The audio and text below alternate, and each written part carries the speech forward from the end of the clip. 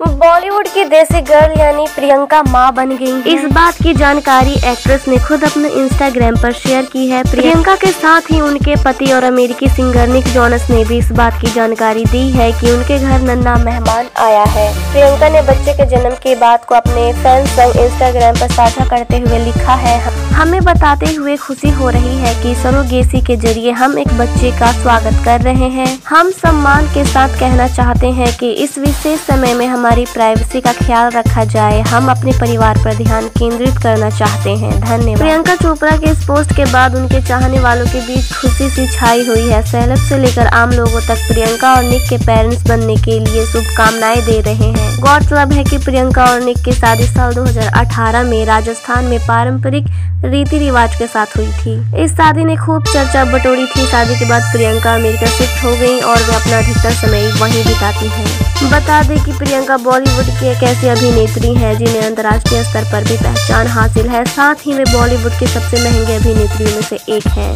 प्रियंका चोपड़ा फ़िल्मों में अपने शानदार अभिनय से कई बार लोगों का दिल जीत चुकी हैं। अभिनेत्री के नाम दो नेशनल अवार्ड्स हैं और पाँच फ़िल्म फेयर अवार्ड शामिल हैं। वे हॉलीवुड के बेवॉच और क्वांटिको में नज़र आई हैं। दोस्तों, वीडियो अच्छी और इन्फॉर्मेटिव लगी हो तो हमारे चैनल को लाइक शेयर एंड सब्सक्राइब करना ना भूलें।